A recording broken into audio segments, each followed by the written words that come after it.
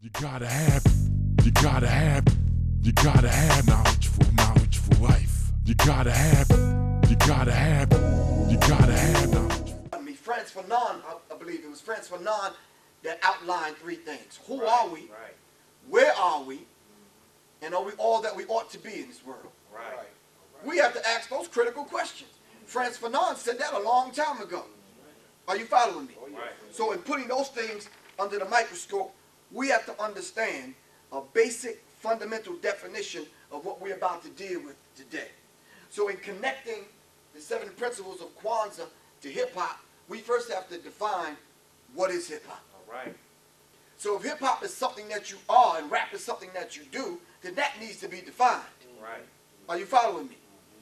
So Professor Smalls teaches us this, that if you go to any church on any Sunday, sit quiet and listen to the rhythms of the hand claps and the, and the sisters tapping their feet, Right. Right. you could go to any village in Africa and hear them same patterns and them same rhythms. Am I right or wrong? That's right. So what is it that's locked in our genetical code that we need the key to unlock it? Come on.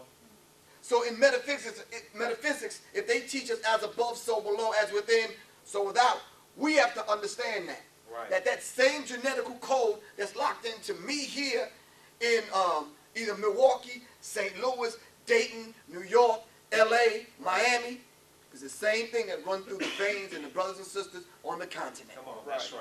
That's right. The only thing that's keeping us apart is probably a language barrier. Mm-hmm. And the fact that they feel that we never came back home. Right. Are you following me? Right. Hell, we're trying to get home. You know that's right. But it's that white noise that's preventing us from getting back. Hell, my passport's about to run out. I gotta go see the people downtown to get back to Africa. Right. That's a hell of a thing there. yes, it is. A minute ago, they were saying, go back where you came from. Hell, I'm trying to get back. Right. right. Are you following me? Right. But if we take uh, put under the microscope those same patterns and rhythms, are the same patterns and rhythms used the same way in America as we used them and still are using them on the continent? Right. Let's stop for a second and access that, answer that question. What energy are the sisters are bringing to the Baptist or the Christian religion? Mm.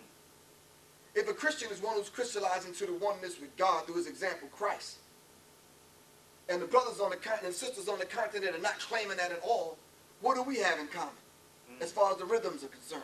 Right. Are you following me? Right. So my father's father, who was Blackfoot Native American, when we wanted to grow crops in the backyard for vegetable, make the vegetables grow and the plants grow, a dance. Mm. We chanted. We sang songs. Right. This is the same thing they do on the continent, and it's the same thing we do in church. Am I right or wrong? That's right. Right. See, we need to understand that. But what if I told you all of that is the basis of what hip hop is about? Huh. Come on. And those, defi- those divine principles that we've learned on the continent of Africa are there in hip hop. We just don't recognize them. That's right. Every hip hop song starts off with the beat. That's right. That's right. Right or wrong? Right. The beat is the heartbeat to every song. Right. Did we not come over here with the drum and wasn't that the first thing they took from us? That's right. Yes. The inability to communicate with one another without speaking. Right. Because remember when they took us and put us on the ships, we were from different tribes in different parts of Africa. That's right. Are you following me? That was done on purpose so we couldn't communicate with one another. Come on, brother. But we had the drum. That's right. Mm-hmm. That drum. And then on the plantation, when they heard the drum and they seen how we responded to the drum, Right, they said, oh no, I have to take the drum. Right. Right. But the drum wasn't only just a drum, something for us to, those are complex patterns that we put together to heal the body mm-hmm. and heal the soul. And that's the same thing you do in church, sister. The same exact thing. Mm. There was a brother that came forth and said all the Negro spirituals that they used to sing in church were constructed and put together using the black keys on the piano only.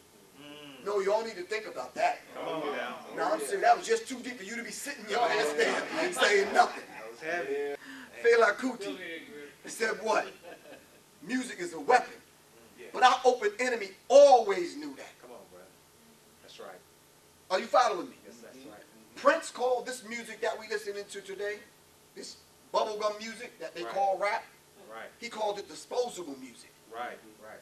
Mm-hmm. Fela Kuti said music is a weapon. How are we going to use this music today Come on now. as a weapon? Mm. But our open enemy already knows that, and he's using the music right. to work against us. That's right. Yes.